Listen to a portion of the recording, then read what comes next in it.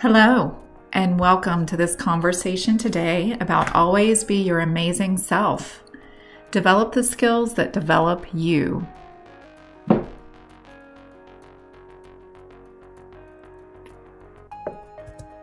My name is Marsha Stonehill. I'm a psychiatric nurse practitioner. The name of my practice is Melt the Ice. The name comes from a quote Sometimes it takes the sun a long time to melt the ice so things can come to the surface. As we go through this conversation today, I think the meaning behind that quote will be revealed as we talk. I also want to tell you about a podcast program I have called Operation Flow. Flow standing for fortitude, leadership, opportunity, and wisdom.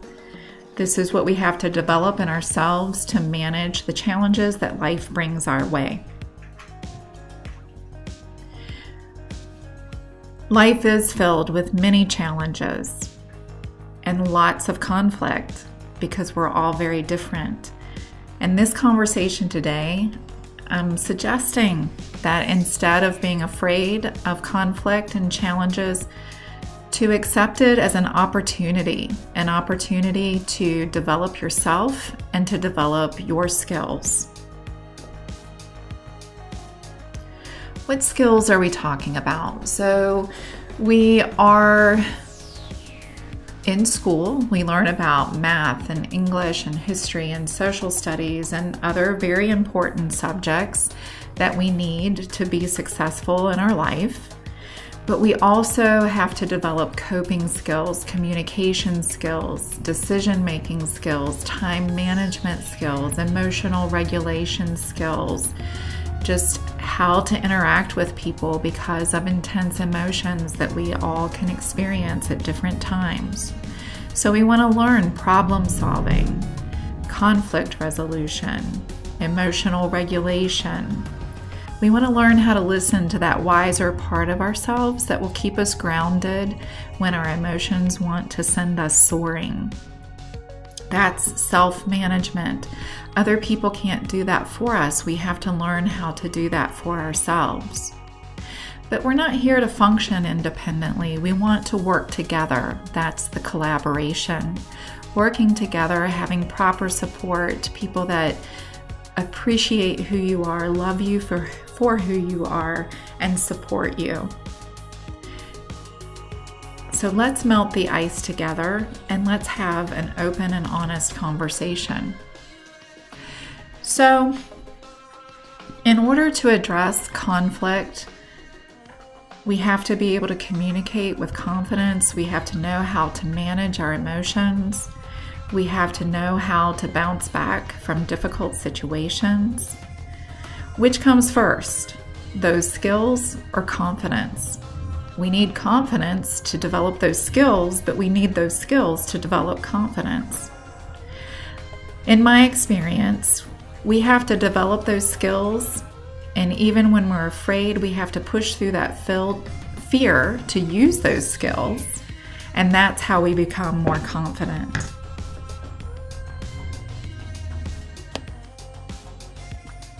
So let's look at all the stress that we are enduring, no matter your age. You're experiencing these, this stress on to one degree or another. There's relationship stressors, there's misunderstandings, there's differences of opinions, there's the difficulty in appreciating the perspective of another person, there's family members or friends who might be struggling with anxiety or depression or learning difficulties or medical challenges.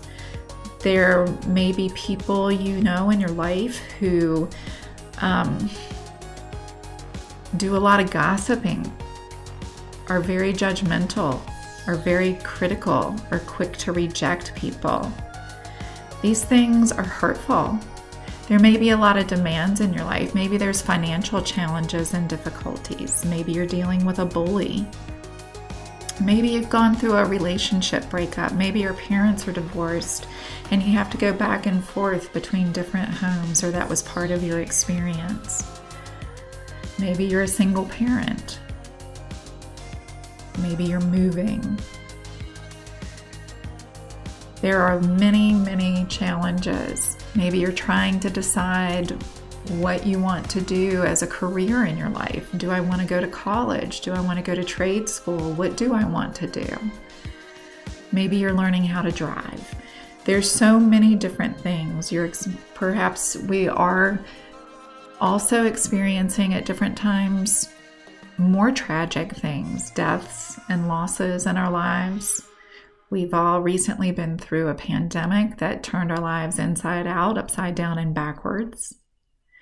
We never know what the challenge is going to be, but we do know that we can develop the skills to manage any challenge that comes before us. Let's break it down. I like to put us into four zones. Melt the Ice looks at we have an ego, an ego zone, we have an emotion zone, we have a mind zone, and we have a spirit zone. So let's look first at what is that wiser part of ourselves. That's what I call the spirit zone. It's that part of you that knows, mm, I need to just walk away, I need to stay quiet, I need to just get up, I need to speak up.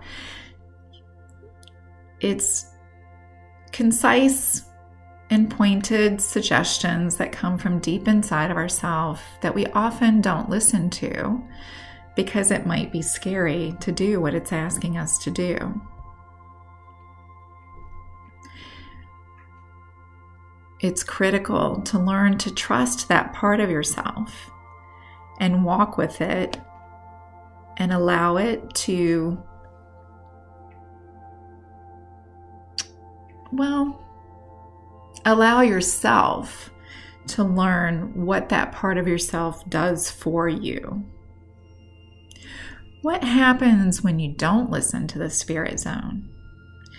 So, we constantly have to decide am I going to listen to my mind that might be feeling quite chaotic in that moment, or to my emotions that might be intense and chaotic as well, or to my ego that has created really harmful ideas toward myself or another person?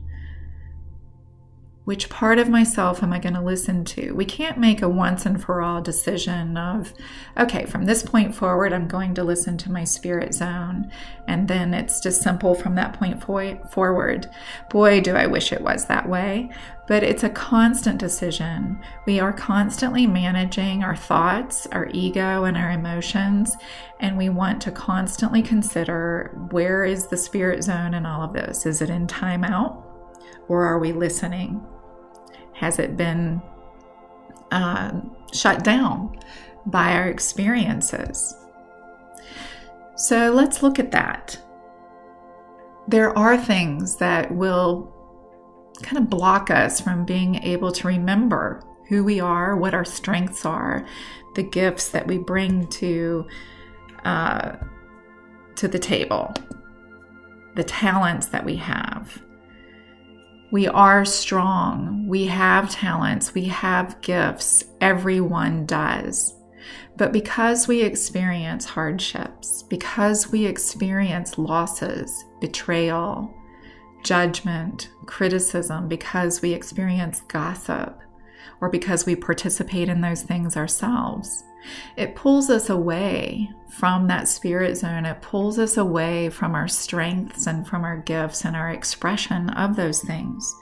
So, we do need to be very careful about how we allow ourselves to manage all the hardships that we experience so we don't lose sight of the essence of who we are and so we can move forward one baby step at a time, no matter the hardship that you're experiencing. So I'm suggesting then that you want to allow this spirit zone to be the director of your life. That's what grounds us. That's what helps us to find that mental clarity when we get mental chaos happening or when our ego has uh, developed defense mechanisms that feel protective, but it's actually separating us from our our actual strengths and separating us from connecting with people in positive ways Grounding inside that spirit zone helps us to calm our emotions. It doesn't make our emotions go away, but it helps us to manage our emotions. So things are happening around us constantly. There's always there's always hardships and challenges, if not in our own personal life, perhaps in our home, with another family member or in the school with friends or teachers or other people around us or in our communities or in our world. So there are constantly challenges that we need to have the skills to know how to respond to. So, in this regard, if you're not regulating, you are reacting. So, we have to be really good at being plugged in. We need to learn how to solve problems. And even though you see here that I'm suggesting that we need to face challenges without fear, mm, we have to face challenges afraid or not. It's okay to be afraid, but don't let the fear stop you. We have to learn to manage conflict and overcome our emotional challenges. So, as children, we disconnect, we unplug from stress. You know, nowadays children are doing that by escaping in video games, but sometimes people escape through reading or whatever that may be. Instead of developing more skills, it's okay to use distraction occasionally, but at some point we have to learn to plug in and develop those skills. Keep that brain alive and active and filled with knowledge that helps you know how to deal with everything you are experiencing. So, what does not work when you're experiencing intense emotions? And I know that everybody has either done this themselves or has witnessed it in other people, no matter what your age is. but staying silent keeping it all inside and replaying the memories inside your own mind, that's going to keep you awake at night. It's going to create anxiety, maybe even depression, restlessness, appetite problems. It's it can just create a lot of problems to keep it all inside. Or the opposite, being emotionally overwhelmed and yelling and screaming and having outbursts or tantrums Mm, that's not really going to work either, is it? It doesn't really solve the problem. Or physical acts of slamming doors and stomping and throwing and breaking objects. Again, this doesn't really solve the problem. And it's not emotional regulation, those are emotional reactions.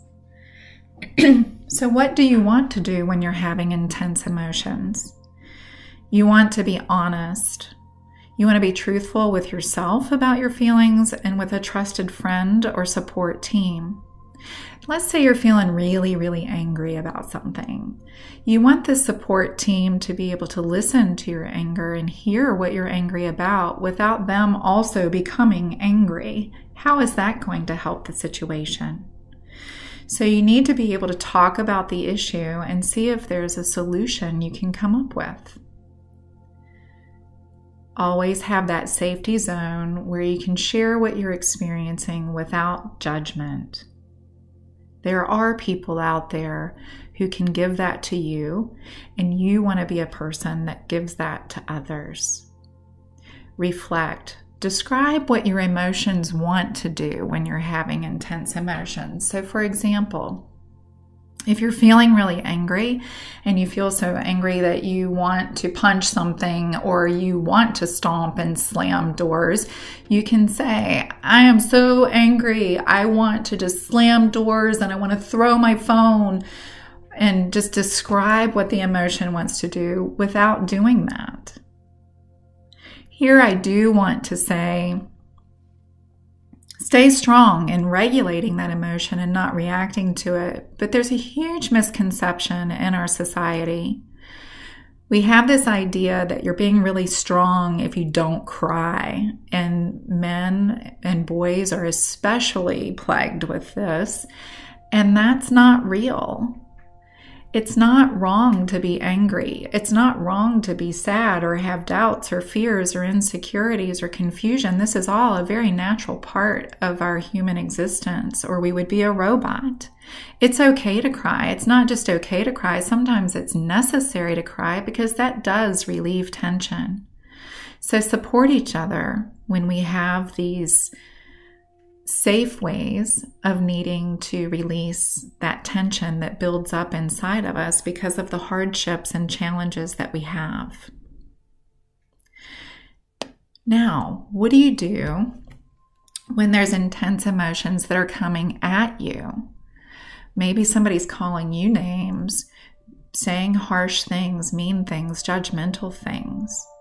What becomes very, very important is to not take these things personally and to not internalize it, to not believe it is true. Recognize that this person is having an emotional reaction.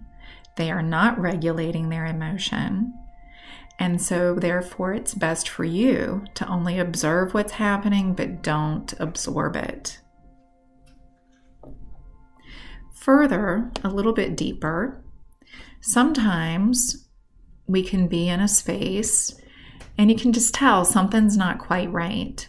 Something's a little off, but a person will say, No, no, everything's fine. I'm fine. Well, trust that instinct, trust that feeling, and know that something's off, whether you can put your finger on it or not. It's okay. Now, let's go to the mind. Our mind is very important. We can't operate without it. Sometimes it's a very busy place, and sometimes it's a very quiet place. Our mind can also have a lot of rational thoughts, but it can also have a lot of very irrational thoughts or negative thoughts. Nobody likes me, I'll never succeed, I always fail at everything, I can't make mistakes, I have to be perfect. Those are irrational thoughts. These are things we can't control whether these thoughts enter our mind, but we can control how much time we spend on those thoughts, whether we believe every thought that enters our mind. We have to be very thoughtful about what we listen to. Our mind is a very powerful machine, and what we tell ourselves becomes true. So we want to tell ourselves the truth. I have strengths. I have value. I am talented. I have gifts. I have friends. I have support.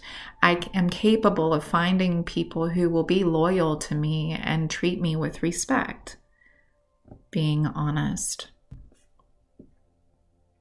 So, communication. There are three different ways that we identify as ways of, commu- of communicating. One is aggressive, the other is passive aggressive, and the other is assertive. Naturally, we want to always strive toward communicating assertively. This is another one of those things where we can't say, I'm always going to be assertive from this point forward. Why? Because our emotions and our ego and irrational thoughts arise, and sometimes we do become aggressive or passive aggressive, but we have to take responsibility for that and always strive to move into that assertive position. So, what's the difference? Being aggressive is when you might be telling the truth, but you're saying it in a really mean way by name calling or being judgmental. I want to clarify there that sometimes people think they're being mean when they're telling the truth, even in a nice way. Sometimes it's hard to tell someone the truth because it can be hard to hear. The truth should never harm us, it should help us to learn and to grow. So, passive aggressive is when someone stays silent and instead of telling the truth, they just become quiet. And maybe they do things that they know will hurt you, or you do things that you know will hurt this other person because you're aggravated, or you're upset, or you're hurt, but you don't know how to talk about it. Again, that doesn't work.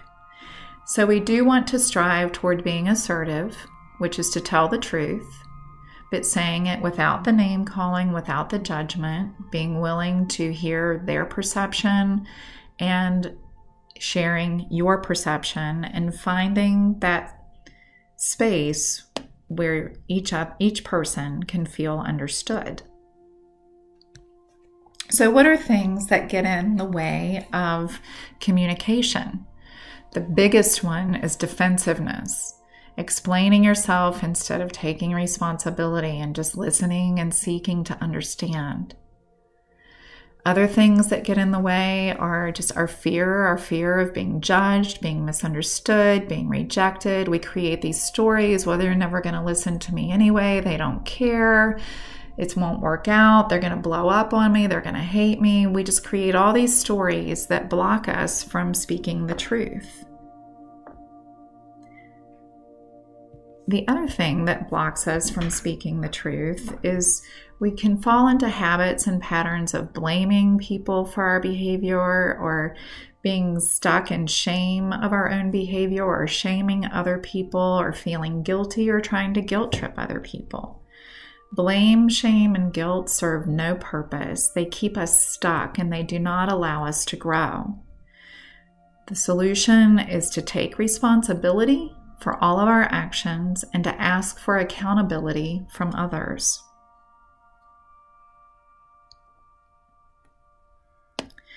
So, what makes conflict so scary? Again, it's this whole thing that it just depends on if somebody is going to come at you aggressively or if they're going to become passive aggressive. That does make conflict scary.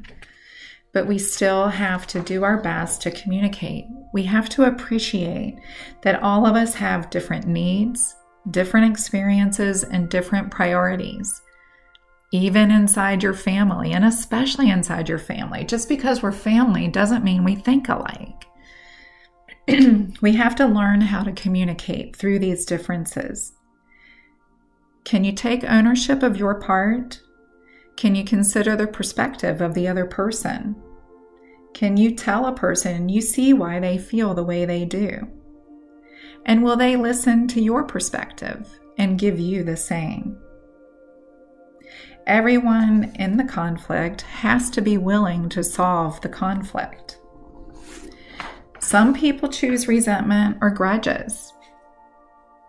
But even when somebody does something harmful to you, so harmful that you cannot stay in that relationship, you want to be careful to not get stuck in resentment or grudges or fears created from that experience because it'll hold you back. Don't let them hold you back. Walk away with gratitude that you had the wisdom to walk away and stay your amazing self and keep developing yourself and your skills. In this life, we're going to experience people who will have bullying type behaviors. They will try to scare us into cooperating with them or say mean things that will try to destroy our confidence or break our confidence. If you witness that happening, I want to encourage you to surround the person being bullied. Don't get into a fight with the bully. They too need to be surrounded and supported for whatever it is that's going on inside of them. But, in, but instead, surround the person being bullied and support them, build them up, and see how this might help alter what the bully is doing. Relationships and communication, it's a lot of work. How do you measure a true friend? True friendship is some is a person and a place where you can be who you are. You don't have to keep secrets. You don't have to not reveal certain things I don't want to tell them this because then they may not like me. Well, that, that's not a true friend if you have to hide parts of yourself from them. Being uh, the measurement of a true friend is their consideration to you, how they value you, respect you, listen to you, consider your perspective, and your ability to give them the same thing. If this is not happening in the relationship, sometimes we have to have the courage to walk away and say, This is just not working. We don't want to judge, we don't want to criticize, but it is okay to say, This isn't working. It's hurtful and it's harmful. We want to be in relationships where we're being supported and where we are being supportive. Pay attention in your relationships. Does this person respect your boundaries? If you say, I don't like it when you speak to me this way, or when you do this, this hurts me, are you heard? Do they listen, or does the behavior continue?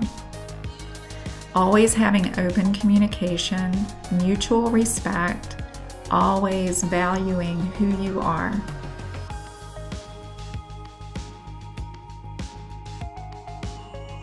Be very thoughtful our ego develops defense mechanisms because of these hardships and these hurtful things that happen.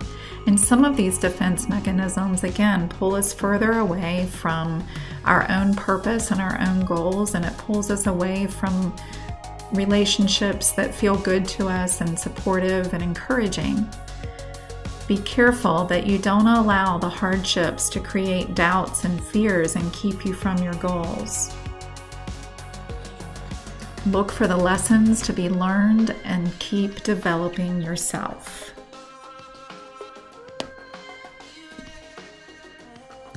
Because life has hardships, the only choice that we, have is to learn from these hardships. We have to learn to be resilient, bounce back, stay attached to that strength inside yourself that helps you to get through any situation. But remember, we're not here to get through situations alone, and you are not alone. Make sure you have a support system. That system doesn't have to be a big support system, it can be one or two other people. As long as they're treating you with the respect and the kindness and valuing who you are and know how to encourage you. That's what matters the most. There are many mental health resources out there. You can search on the internet in your own locality for resources that are near you or ask uh, trusted adults or other individuals in, you, in your life who may know of resources in your area to help you get the support that you need.